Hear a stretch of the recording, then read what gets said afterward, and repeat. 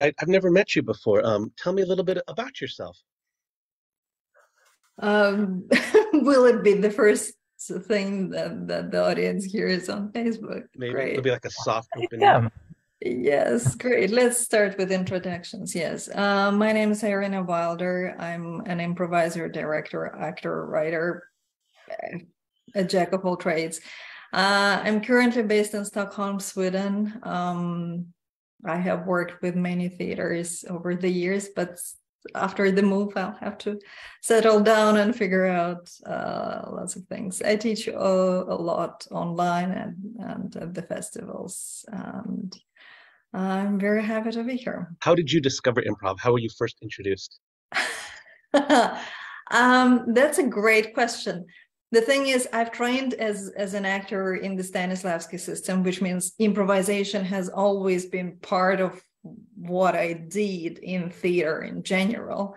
But i did not discover improv as its own thing as an art form until i moved to gothenburg um, about five years ago. No six.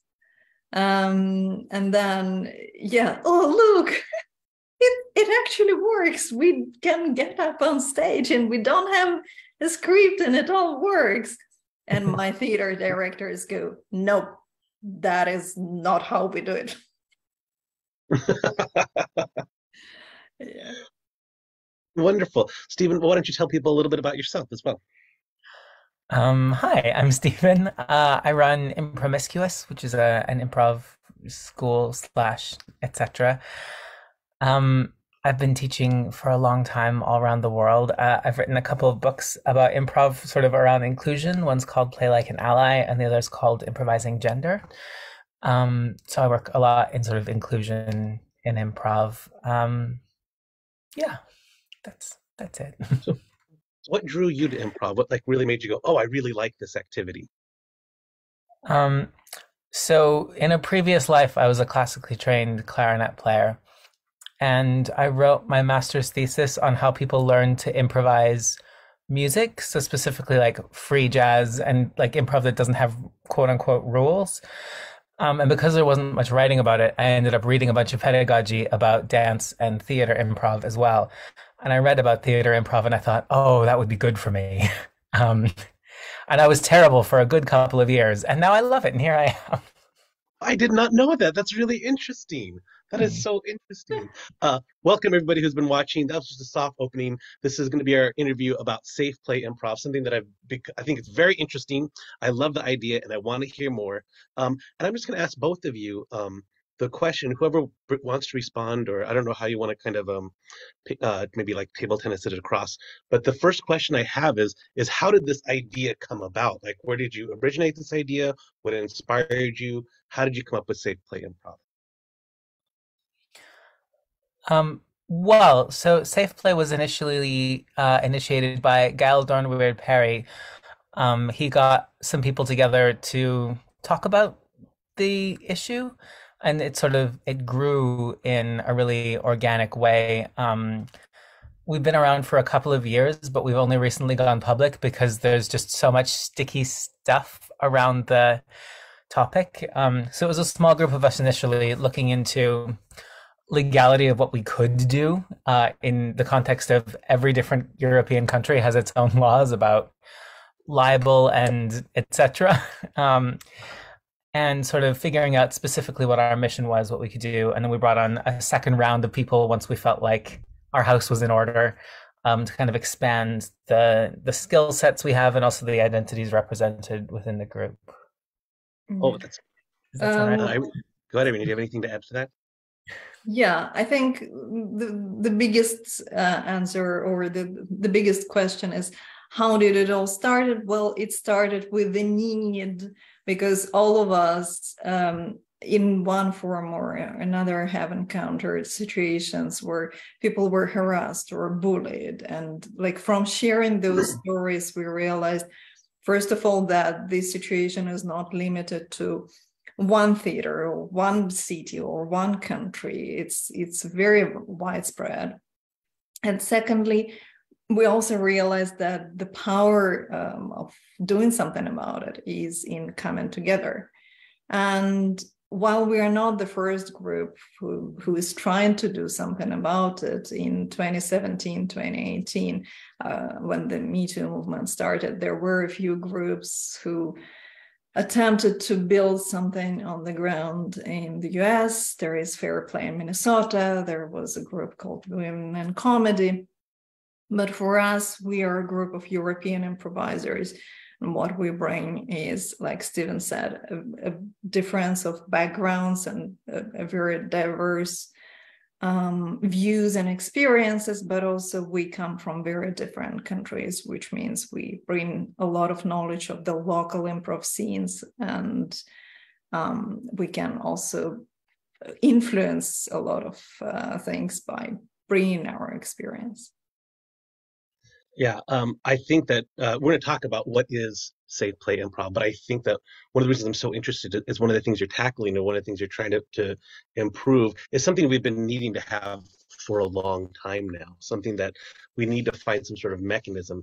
Um, so, Stephen, I'll ask you this question, and then Irene, again, you can hop in if you'd like to. What is safe play improv? Like, what what is the mechanism, or how do people interface with it? What is safe play improv? Um, Safe Play Improv is a group of improvisers from all over Europe. Uh, we're working to combat sexual harassment in improv. Uh, specifically, we are providing resources around um, harassment within different countries uh, in Europe. We're looking at putting on some workshops about creating healthy improv cultures. Um, and we have uh, a sort of disclosure bit of our website where people can uh, write in with experiences that they've had. Um, with that information, we keep a little database about who has been complained about. Obviously, for libel reasons, we're not going to publish it or anything. Um, although sometimes I really wish we could, but we can't. We can't. Um, but we're working with um, festivals and schools and etc. to have a sort of check system, if that makes sense. So folks can write to us and say, have there been any complaints about this guy? And we can't necessarily get into details, but if we say yes, seven, that's that should be enough information. um, because yeah, there are there are teachers touring around Europe who are well known to be problematic and like chronically problematic. Um, yeah, Europeans and Americans who are touring around, and like it's a sort of it's a it's a very open secret sometimes, but because of the way these information systems work and because of how big the European scene is, there's every chance you could hire someone problematic without any idea, even if lots of other people know that about them because they're just friends with the right people, which doesn't quite seem right. And also, there are a few people. Sorry, I'm going on, but I have strong feelings. Uh, there are definitely people who are in the camp of, well, he's always been nice to me, or he's a great teacher. I'll hire him anyway. Um, and we would just love to have a tiny bit more structure and accountability around that. Yeah. I, I love that you want to talk a lot about it because, like I said, I think this is something that we've been needing in the community for a long time. Irina, would you like to add anything to that? Yeah, like Stephen said, a lot of what what we're doing is collecting information, and we hope to, um, yeah, to to prevent um, abusive or or harassing teachers from from keeping doing that, right? So if we can kind of put some limits that would be good by working with festivals and by, by working with um, theaters. But the other reason why we're collecting information is um, to to just gather statistics and to put things in perspective, to give context to what's going on. Because in addition to um, the the serial killer fallacy, which is he's always been nice to me. My neighbor has never done anything to me, right? Therefore, he cannot be a serial killer.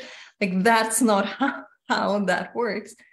The other fallacy is it it cannot happen in my theater or it cannot happen in my city. It's happening somewhere there. It's happening in Chicago or London. It's not happening to me or my group Um, by gathering experiences, I can safely say that it's happening in all countries, in all um, theaters, in all festivals.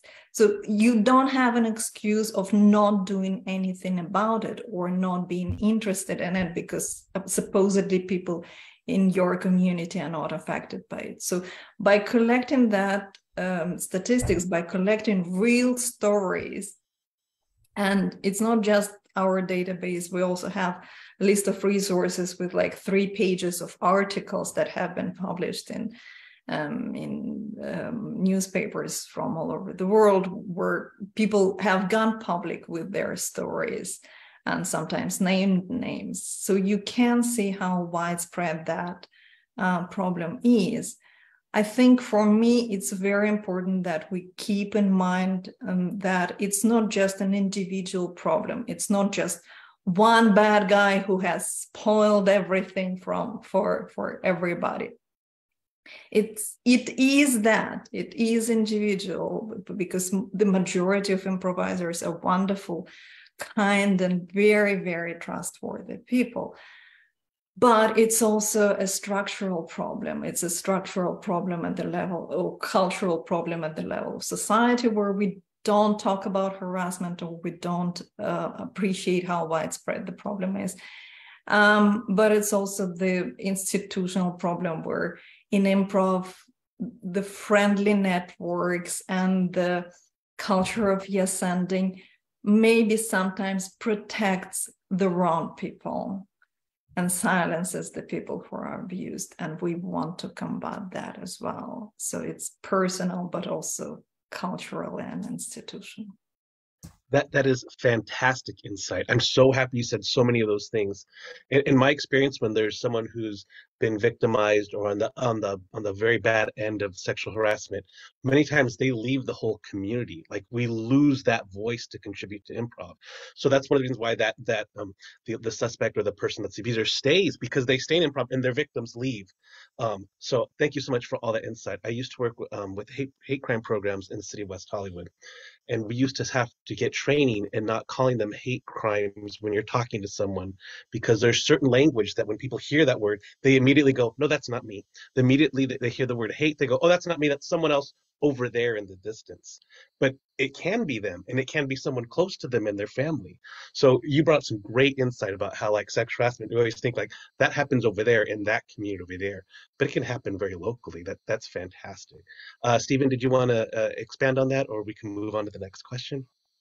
Um, yeah. So I think something that Irina said just kind of made me think about uh, culture and how we decide what is and isn't okay in improv. And I think one of the things that Safe Play is really trying to encourage is just talking about things. Because so often we assume what appropriate boundaries and behaviors are based on our own experience of the world. Um, whereas actually, what people are comfortable with and what is okay, particularly once you start touring around different countries, it varies wildly. Um, as an example, I so most of the time now with groups, people are getting better and better about doing a little boundaries check in. Uh, and I used to say during my boundaries check in, touch me anywhere. And I meant it. Um, but then someone put their tongue up my nostril, and I thought, oh, no, I didn't mean it. I just hadn't, I didn't have the context. I do have boundaries, I just didn't realize. Um, but that's because like none of my personal boundaries had been crossed, right? But for the person who put their tongue up my nose, that was fine behavior. Um, and on the other side of that spectrum, there's lots of folks who just culturally or for personal reasons straight up don't want to be touched. And somehow that's being on a different spot in that spectrum from someone else creates so much difficulty around communication because I think we just don't quite get what boundaries are and that everyone has them and that they're different for different reasons in different contexts. Does that make sense? Absolutely. And they can change over time. Like your boundary yeah. this year, it might be different the next year. And because you've learned new insight or learned something else, I totally agree with that. Um, Irina, I'm going to ask you the next question. And this um, question comes up from our discussion. Oh, did you have something you want to say? I'm sorry. Um, I, I'm afraid to go on a on a wide tangent, but I think since we started talking about culture and, and boundaries, I think one thing that is important to always keep in mind when we're talking about the culture of improv is that a lot of what has been normalized in improv, particularly in uh, the Western countries, comes from theater, from the acting practices that have been established by the founders of, of improv, who have most of them have been trained actors. Uh, and theater in general, the, the, the, classic theater is grappling with the same uh, problems. They they are struggling with the system of uh, perpetuated harassment and sexual uh, harassment. So just keeping in mind that um, the actors who who have been trained in the past to have no boundaries, to be ready to do whatever the director is asked. And you are supposed to be a good actor. So you always say yes to whatever uncomfortable or crazy or just uh, um, plainly uh, inappropriate thing is asked of you. You say yes, because what if they won't call you again? right? Um, right now theater and and um, cinema there like the, the industries are grappling with the, trying to combat the same problems.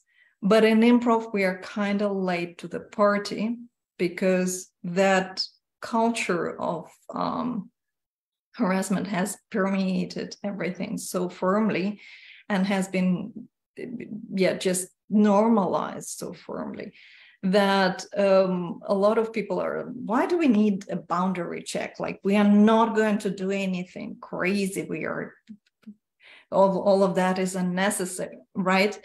Um, all of that is unnecessary and and it's a censorship and so on. Uh, we need to remember that yes theater practices have been unsafe historically very unsafe and um, in many cases, it was just plain institutionalized harassment. If you think Meisner, and I'm going on a tangent, but it, bear with me, it's important.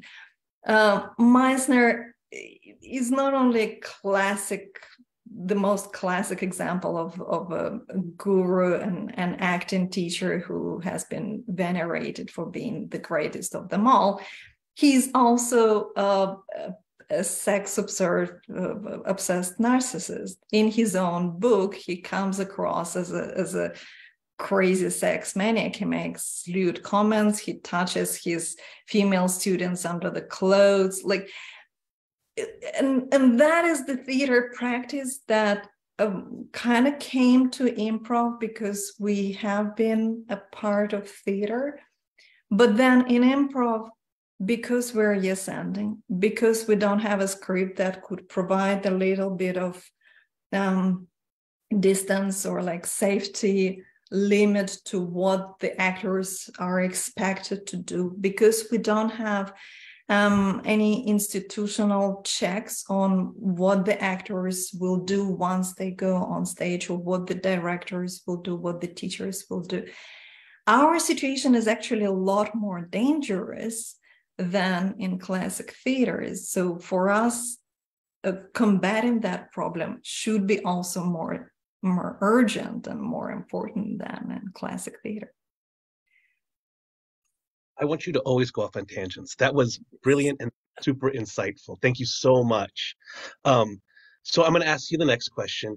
Mm-hmm. Um, for now, is Safe Play looking at sexual harassment? Um, like if people want to access the website and they have issues of racism or maybe discrimination in a t- totally different way, for now, Safe Play just focusing on sexual harassment, or is it all forms of discrimination, or how would you like to address that? I don't think we are aiming for discrimination um, necessarily, but harassment in general or bullying in general, yes because for for three reasons. One uh, in many cases it's very difficult to separate what is um, sexual harassment versus harassment in general. The same person could um, make sexist or misogynist comments and be very transphobic or racist and that behavior just like you don't separate it in, into tiny boxes if it all comes um, comes up right? And and it it also very often comes for for similar reasons. Secondly um, we encourage all people and i'm talking about festival organizers theater owners directors to ask themselves whether they know the definition of harassment bullying, oh, so sexual harassment, um, microaggression in their own countries. Do you know what how the law defines harassment in your own country?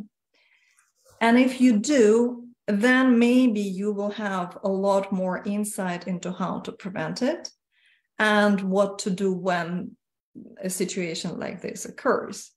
Many people think that they know what sexual harassment is or what harassment is, and they don't because the, the information is not everywhere, right? You have to um, seek it out, you have to um, educate yourself, and it's just not something that people normally would do. And it's again, it's part of what Safe Play intends to do, providing that education, providing that context, that information base.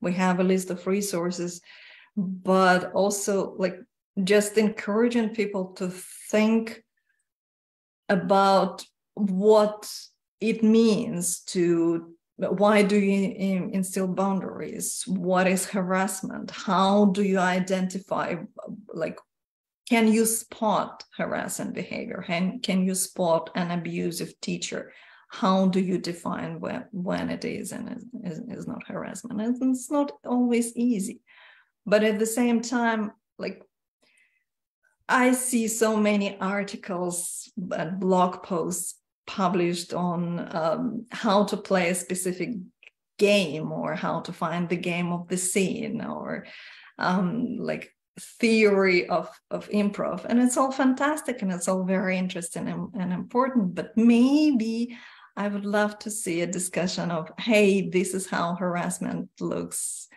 in improv communities because guess what? This is what and if I may share a, a personal example that that I remembered, there was a, um, a dinner at a festival, and we just happened to be um, a group of women sitting at, at one table while um, like a, group of other improvisers of mixed genders sat at another table.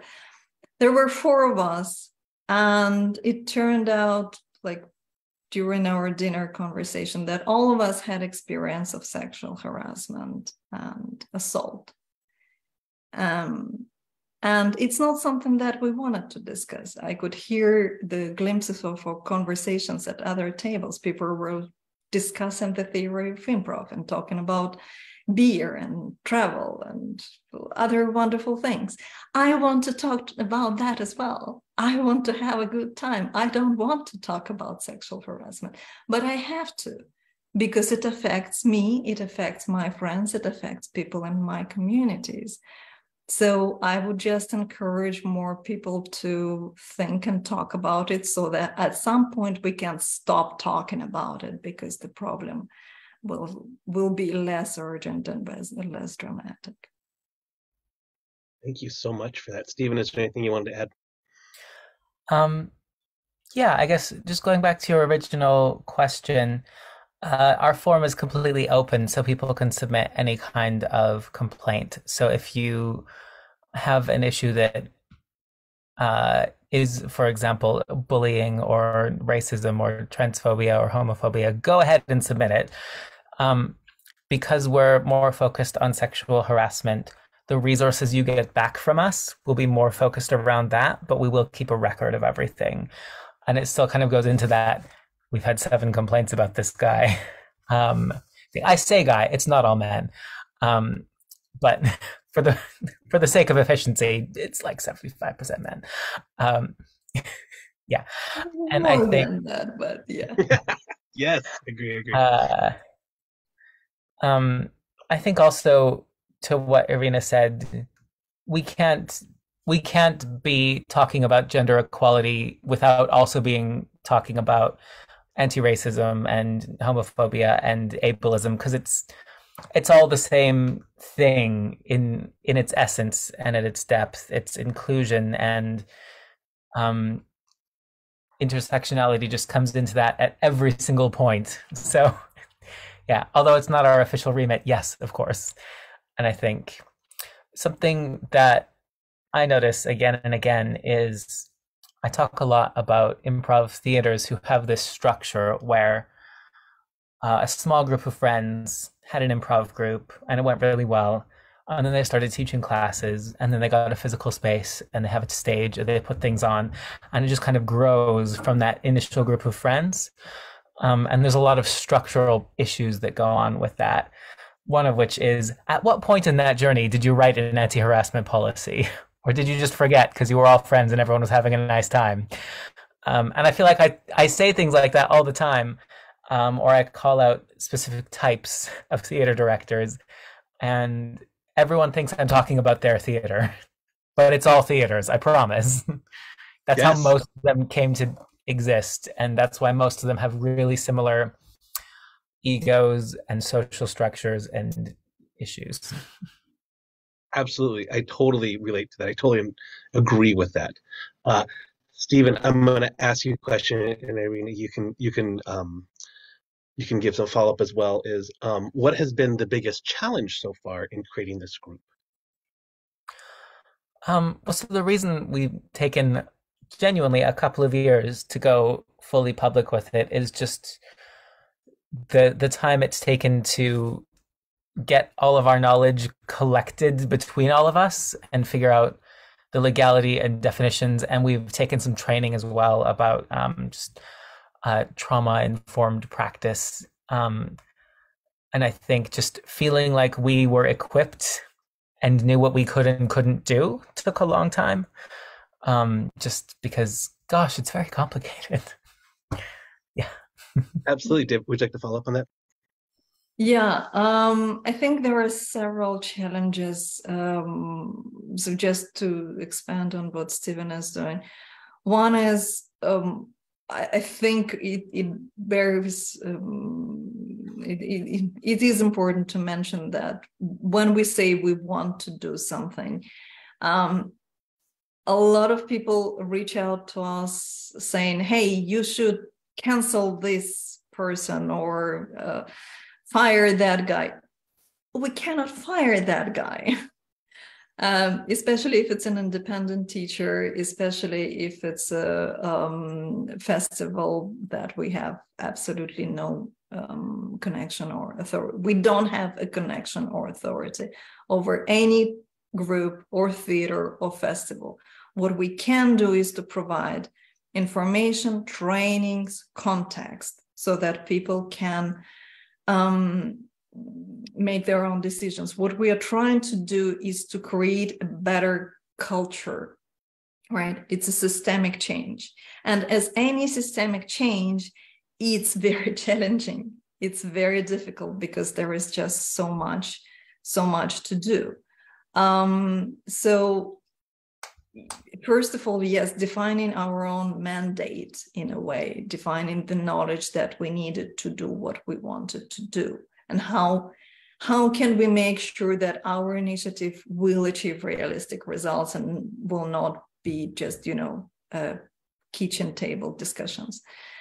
Um, but secondly just uh, reaching out and making sure that people start talking about it across Europe, across all European communities, or across the world, if if need be because again the improv community is very international. It's not like we can limit ourselves in in some borders.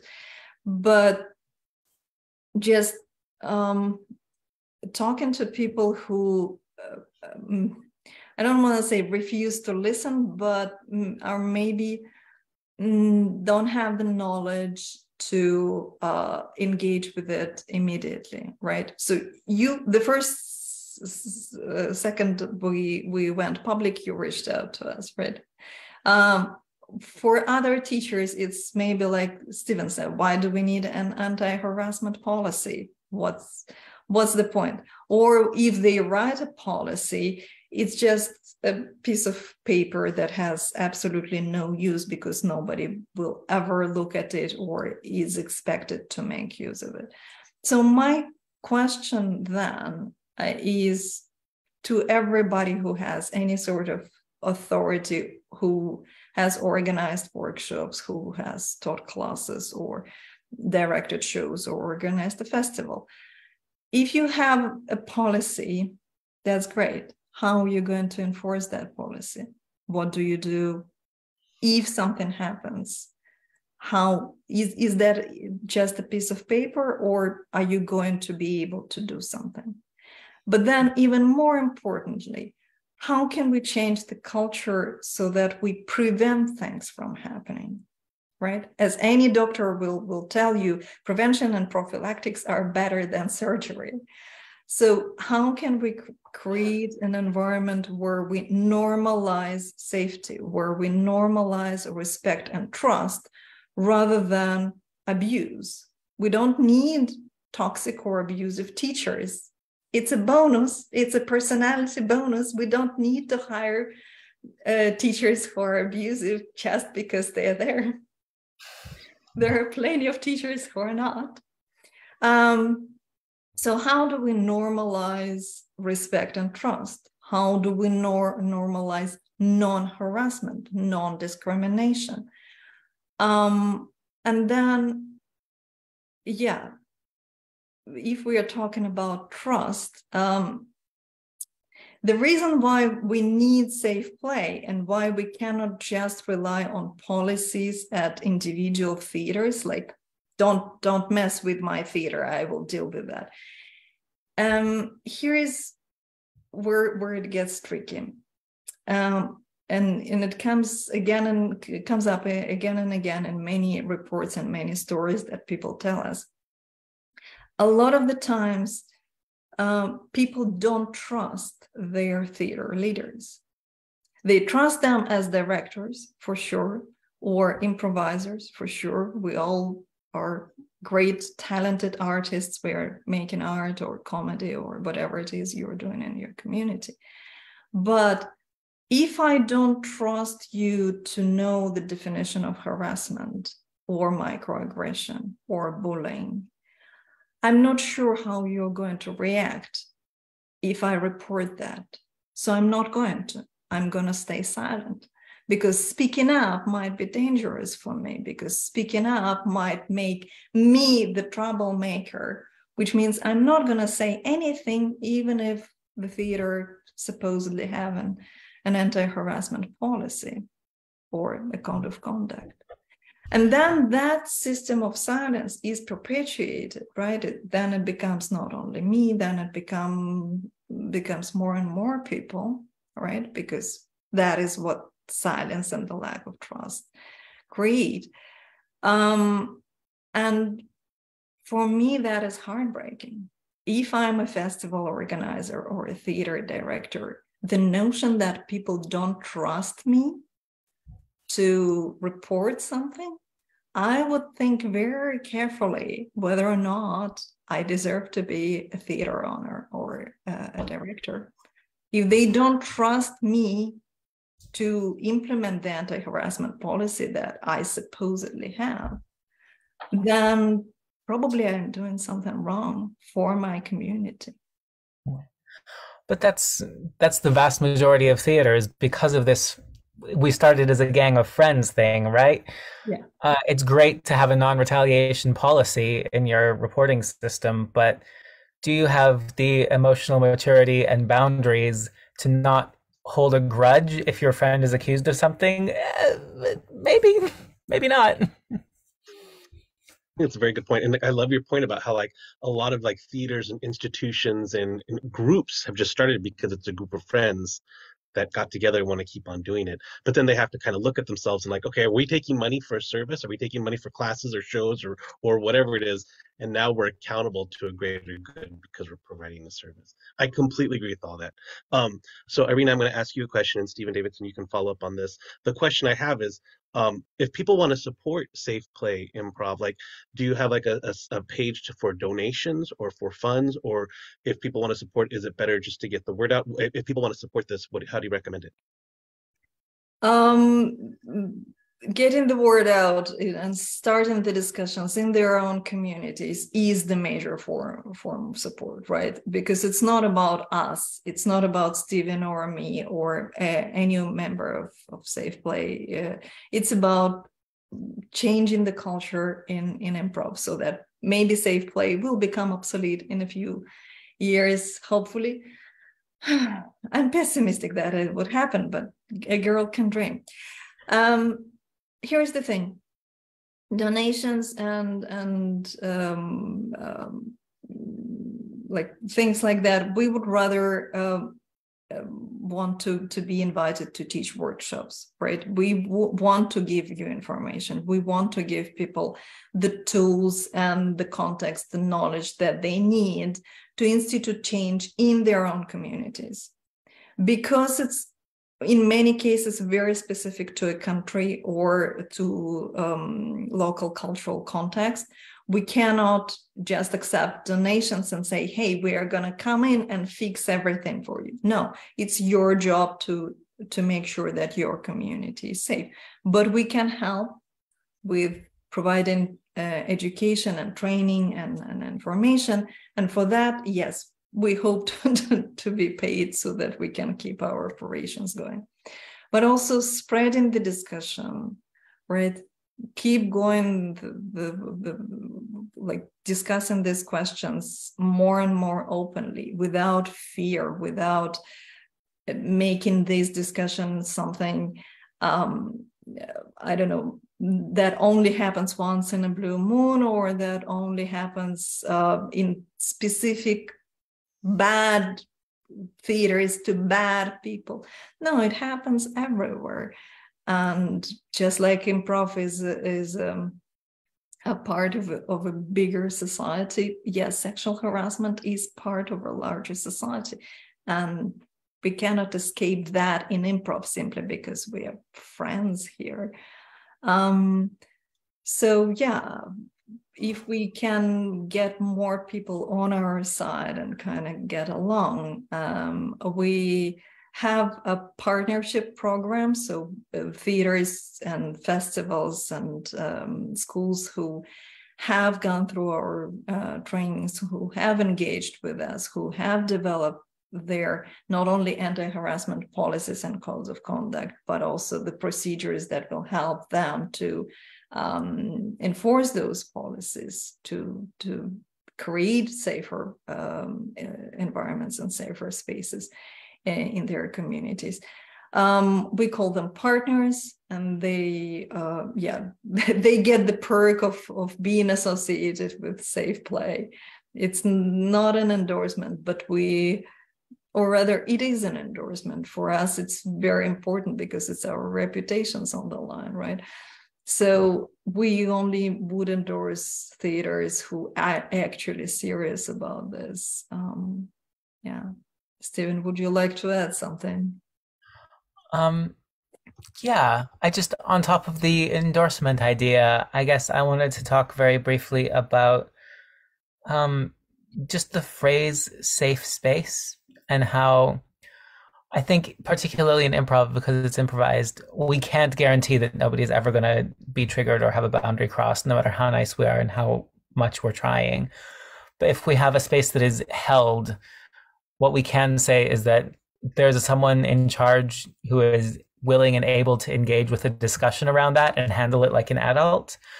Um, and I feel like when we're talking about theaters, we're talking about similar things it, it's not our stamp saying nothing bad will ever happen to you here. It's more a competent adult will talk to you about it and make make efforts to fix the problem if something does happen. If that makes sense, it's a it's a mark of uh, knowledge and willingness to discuss, which goes a long way. I, I totally agree. And my hope is that like in the future that maybe like a festival can have like maybe the, the logo in the corner of Safe Play Improv to say that the, all the instructors and the leadership have been trained in, in the training that you all provide, which I think would be a fantastic sort of like credibility and, and add integrity to every festival that has that stamp. Um, I, Irina, I'm gonna and I'm gonna go to you too as well, Stephen. But like, do you have anything else that maybe we didn't touch on this interview that you'd like to say about Safe Play Improv? Mm-hmm. I want to go in another tangent. Okay, um, good. Yes, good. Um, because I think we we touched a lot um upon boundaries and like things that are important for for um for, for the procedure, right? For for the um making harassment less of a frequent occurrence. But um I think when I talked about theater culture, I did not make specific how uh, improv makes it a little bit more dangerous, not only because it's all improvised without a script, but also because of the principle of yes anding that has been like um, indoctrinated uh, and is still being in, in, indoctrinated by so many um, schools and so many teachers. Um, it's a great principle that helps us and supports us um, in building realities, collaborate together if we have trust and respect on stage. But it can also become very coercive. And I think, David, you had um, a recent story um, on, on the Improv Boost page when that is exactly what happened. Um, the principle of yes anding um, treats people a little bit like you cannot say no, right? You cannot, we don't trust you to be an intelligent adult who is able to make decisions for yourself. We have to, we, we need you to say yes in all situations. That is not trust and not respect. That is coercion that is dictatorship. If you've ever seen news stories about um, authoritarian elections when saying yes is the only choice, that is exactly what coercion is. And I would like to question why we have that principle in improv. What is the necessity of yes if it's coercive? If we don't have the culture of trust and respect as the foundation, as the normal state of affairs, and instead we just expect people to say yes, no matter how misguided, offensive, or sexist, or or racist, or ableist, or whichever um, idiotic idea um, they, they bring on stage or off stage, then that is not exactly supportive, is it? I'm not going to trust people um, when they say, I've got you back, or we'll support each other. We all are doing this great supportive collaborative art form. No, that's hypocrisy. If yes and becomes coercive, if yes and helps to promote the culture of harassment and bullying, because one person does a lot of stupid bullshit and expects everyone to yes and them and stay silent if they want to contradict them.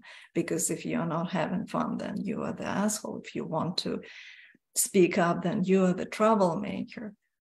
Then it is a lot more dangerous than um, just the discussion of harassment as it's happening in theaters or um, in the movies. And I think that for me is like the burning need that we need to solve. And that is the reason why we're here.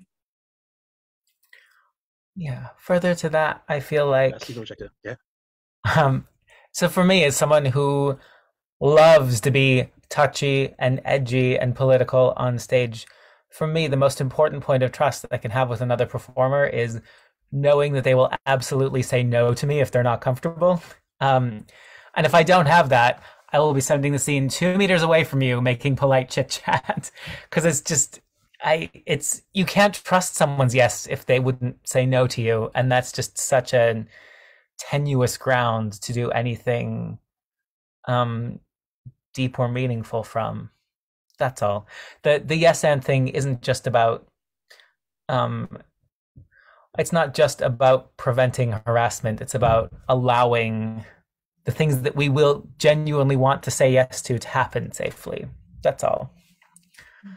So I recently interviewed Joe Thompson, who in turn was quoting his experience with you, Stephen, that you he took a class with you, and he was talking about that yes and is not just about teaching people like as an individual. That's something they do, but it's something they expect from the space, and it has to be taught differently because people that are immigrants to a culture, um, they have to do that every single second of their life to survive, and so people from the dominant narrative just kind of blankly don't even think about it and don't do it so that concept of accepting, or an improv, I'm sure it's more like building a scene together, um, has to be taught differently to different people.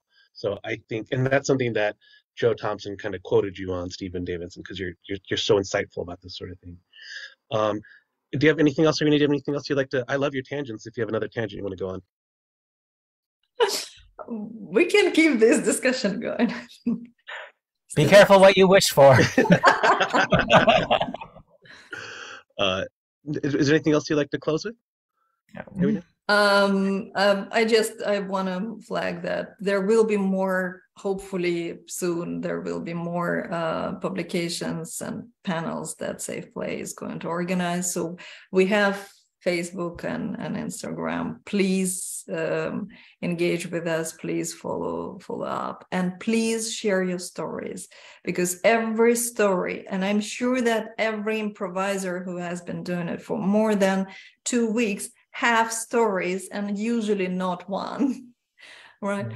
Um, please tell us your stories because collecting that experience, that lived experience from every single theater from every single country, from every single context is important, not only for us to understand what's going on, but also to demonstrate to um, festival organizers or theater owners or directors how different um, situations could play out, what worst situations or what, what what are the worst consequences that that could happen when you don't prevent one toxic individual from um,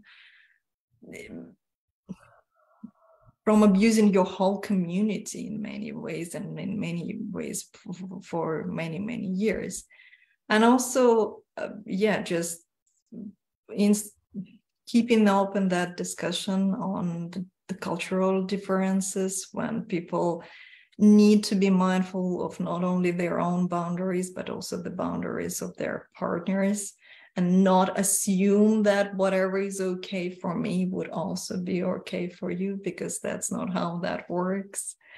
Um yeah all those stories inform what we can do.